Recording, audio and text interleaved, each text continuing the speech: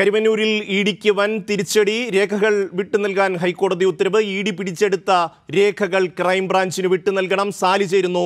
കൊച്ചിയിൽ നിന്ന് സാലി എന്തൊക്കെ കാര്യങ്ങളാണ് ഇ ഡിക്ക് തിരിച്ചടിയാവുന്നത്? എന്തൊക്കെ രേഖകളാണ് ഇത് സംബന്ധിച്ച് ക്രൈംബ്രാഞ്ചിന് വിട്ടു നൽകണമെന്ന് ഹൈക്കോടതി പറഞ്ഞിരിക്കുന്നത്?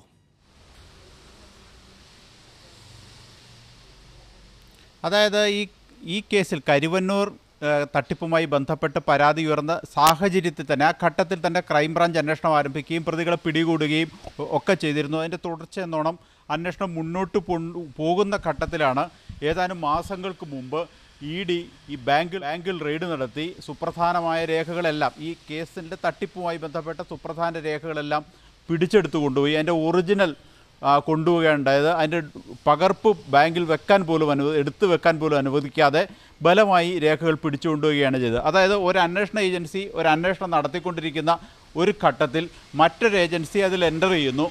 അതിനുശേഷം ആദ്യ അന്വേഷണ ഏജൻസി അന്വേഷിച്ചുകൊണ്ടിരിക്കുന്ന വിവരങ്ങൾ രണ്ടാമത്തെ അന്വേഷണ ഏജൻസി കൊണ്ടുപോകുന്നു. ആദ്യ അന്വേഷണ ഏജൻസിയായ ക്രൈംബ്രാഞ്ച് സ്വാഭാവികമായും ഈ നടപടിയെ ചോദ്യം ചെയ്തു.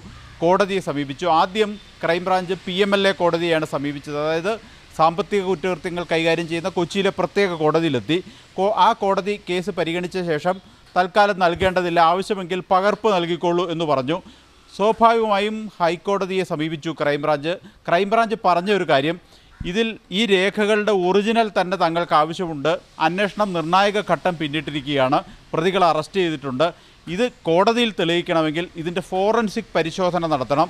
ഈ രേഖകൾ ഒറിജിനൽ ആണെന്ന് കോടതിയെ ശാസ്ത്രീയമായി ബോധ്യപ്പെടുത്തിയാൽ മാത്രമേ ഈ പ്രതികൾക്ക് അവരർഹിക്കുന്ന ശിക്ഷ വാങ്ങി നൽകാൻ കഴിയൂ. അതുകൊണ്ട് തന്നെ ഈ രേഖകളുടെ ഒറിജിനൽ ലഭിക്കുക എന്നുള്ളത് ആദ്യ അന്വേഷണം ആരംഭിച്ച ഏജൻസി എന്ന നിലയ്ക്ക് തങ്ങൾക്ക് മസ്റ്റാണ് നിർബന്ധമാണ് എന്നൊരു നിലപാടാണ് കോടതിയിൽ ക്രൈംബ്രാഞ്ച് സ്വീകരിച്ചത്. കഴിഞ്ഞ കുറേ നാളുകളായി അതിൽ പല ഘട്ടങ്ങളായി വാദം നടക്കുകയായിരുന്നു. ഇന്ന് കോടതി ഇതിലൊരു തീർപ്പ് പറഞ്ഞു. കോടതി പറഞ്ഞത് ഈ രേഖകൾ ക്രൈംബ്രാഞ്ചിന് ഈട് തിരിച്ചു നൽകണം എന്ന് തന്നെയാണ്.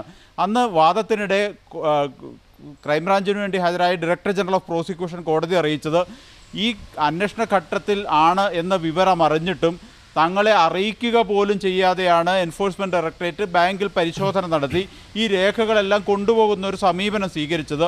അത് തങ്ങളുടെ അന്വേഷണത്തെ ബാധിച്ചു എന്നുള്ളതാണ്. ഇതെല്ലാം കോടതി മുഖവിലക്കെടുത്തു. കോടതി ഇപ്പോൾ പറഞ്ഞിരിക്കുന്നത് ഈ രേഖകളെല്ലാം തിരിച്ചു നൽകുക. പക്ഷേ ചില നിർദ്ദേശങ്ങൾ ക്രൈംബ്രാഞ്ചിന് നൽകിയിട്ടുണ്ട്. ഈ രേഖകളിന്മേൽ ഇപ്പോൾ നടക്കുന്ന അന്വേഷണം രണ്ട് മാസത്തിനകം ഇതിന്റെ പരിശോധനയൊക്കെ പൂർത്തിയാക്കി.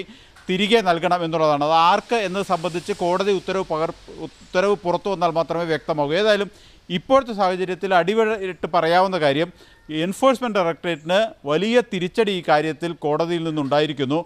എൻഫോഴ്സ്മെന്റ് ഡയറക്ടറേറ്റും ക്രൈംബ്രാഞ്ചും തമ്മിലുണ്ടായത് ഒരു മൂപ്പിളപ്പ തർക്കമാണ് എന്ന് വേണമെങ്കിൽ പറയാം. കാരണം തങ്ങളാണ് വലുതെന്നൊരു ലൈൻ എൻഫോഴ്സ്മെന്റ് ഡയറക്ടറേറ്റ് ഈ കാര്യത്തിൽ സ്വീകരിച്ചു. അതിന് കേരളത്തിലെ ചില മാധ്യമങ്ങൾ പിന്താങ്ങി പ്രതിപക്ഷവും പിന്താങ്ങി.